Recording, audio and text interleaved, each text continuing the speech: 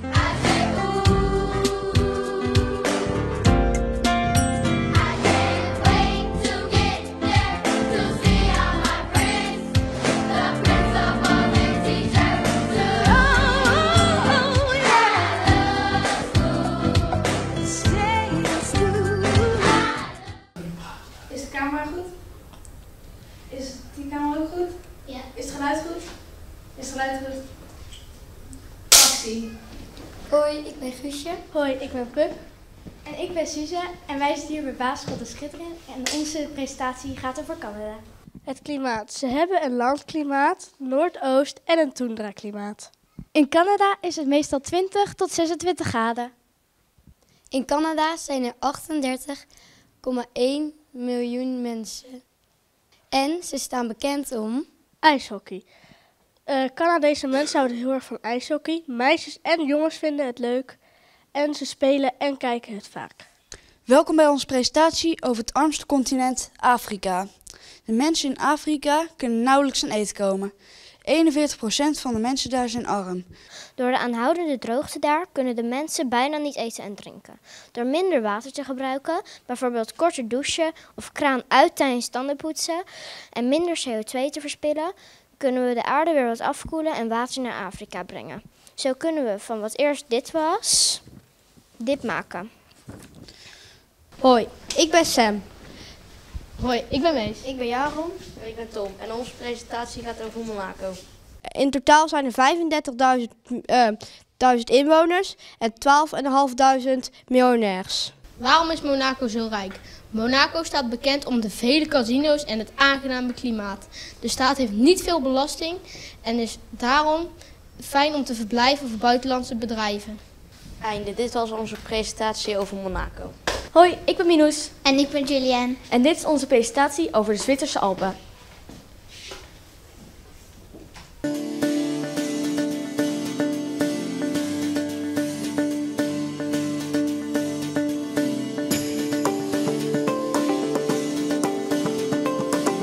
Dit is de Dom. De Dom is wel 4 kilometer en 445 meter hoog. Dat maakt hem de ene grootste berg van Zwitserland. Uh, de, de Dom ligt in Wallis, een Zwitsers dorpje in de Open. Uh, de Lieskam. Hier een filmpje over de Lieskam.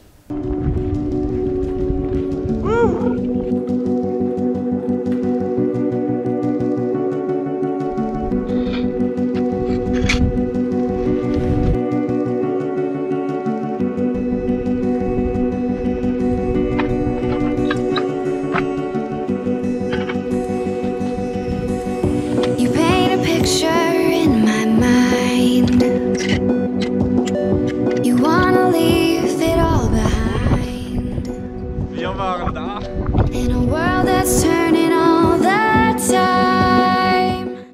Einde. Het einde van onze presentatie. Ik ben Lima. Ik ben Maya. Ik ben Nikki. En wij hebben presentatie over Spanje. Hoofdstad van Spanje. Hoofdstad van Spanje is Madrid.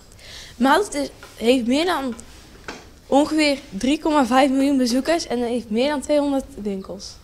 De kledingcultuur. Dit zijn een paar van de kledingcultuur in Spanje. De mantilla, hoofddoek, painetta, clip, gilet, cape en vertugados is de hoepelrok. De omgeving. In Spanje heb je bergen, bloesembomen, palmbomen, zee en veel stranden. Bijna in elke tuin in Spanje staan bloesembomen. De palmbomen staan vaak op het strand of naast het strand. Het einde. Hallo. Welkom bij onze presentatie. Wij zijn Tim, Raf, Jort. En vandaag gaan we het hebben over de beroemdste steden van Italië.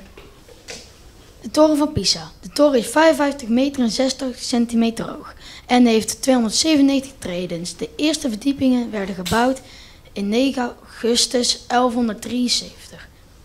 Het Colosseum. We hebben een film van het Colosseum en het Colosseum ligt in Rome. The Colosseum, centerpiece to a vast industry of propaganda and entertainment. Milaan. Milaan is ook een voetbalclub, zoals je kunt zien. De voetbalclub heet AC Milaan. Eén bier in Milaan kost 5,60 euro. Milaan is ook een hele romantische stad. En Milaan is ook een zakenstad en een modestad. Venetië. De stad werd gesticht in de 5e eeuw na Christus en is gebouwd op 118 kleine eilanden. Venetië staat wereldwijd bekend om zijn historische centrum met zijn vele antieke gebouwen, bruggen en kanalen. Palermo. Palermo is een fascinerende stad aan zee, die niet alleen mediterraan en zuidelijk, maar soms ook oosters aandoet. Het is niet 100% perfect en juist daarom is de stad waar je zomaar heel erg van kunt houden. Wist je dat pizza vroeger eten was voor armen? Nou, dit was onze presentatie.